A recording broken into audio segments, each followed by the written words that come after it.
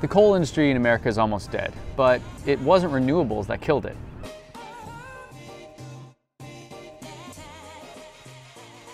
Just recently, the Department of Energy released a report that talked a lot about renewables and reliability of the grid and what's happening to the coal industry.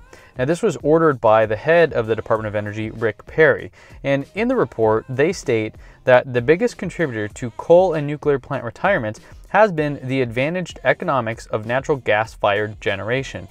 So it's not that renewables and these other things are really the ones killing the coal industry, it is the natural gas industry itself. The report found that the rise of renewable energy sources such as wind and solar hasn't yet created any big problems for the reliability and resilience of the electricity grid in the US. It recommends that the department shouldn't intervene in energy markets such as using funds to support coal. Between 2012 and 2017, the US shut approximately 50 gigawatts of coal-fired generation capacity. If planned retirements are taken into consideration, the future for coal looks pretty bad. So when President Obama was in office, he created the Clean Power Plan, which was aimed at lowering emissions in the United States by capturing some of the carbon emitted and increasing the mix of renewable forms of energy like wind and solar. But in March of 2017, the Trump administration repealed this clean power plan, hoping it would, as he said, save the coal industry. However, this report from the Department of Energy suggests otherwise. Their report predicts in the future we'll see more natural gas and far less coal and nuclear generation. One of the main reasons is because of how much more efficient natural gas is compared to coal and nuclear.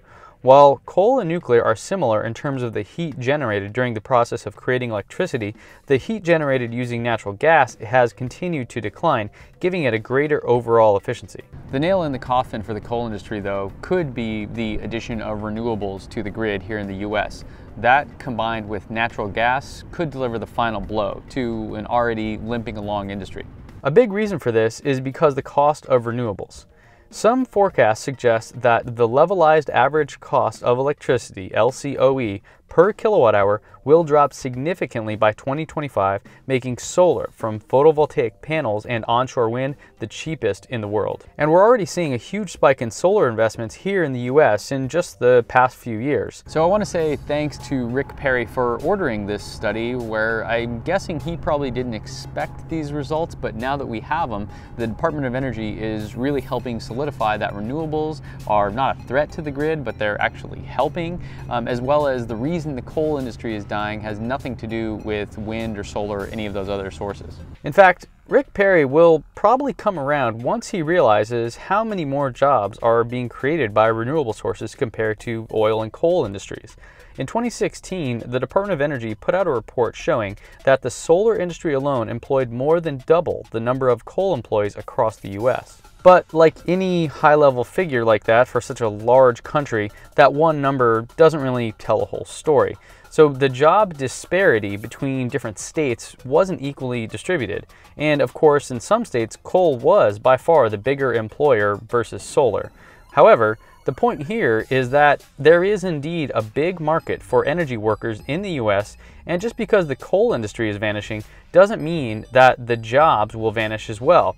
They'll likely just change from coal over to solar or wind or another form of energy. So I'm curious what you think. Is the coal industry really dead or is the government in the US going to try to, you know, put a life support on it and keep it going for seemingly unknown reasons?